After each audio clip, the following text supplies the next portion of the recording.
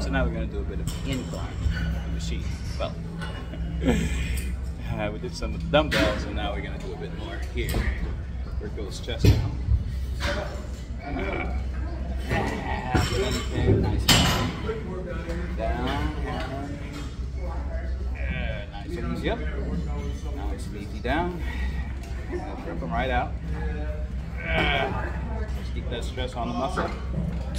There you go. Keep going.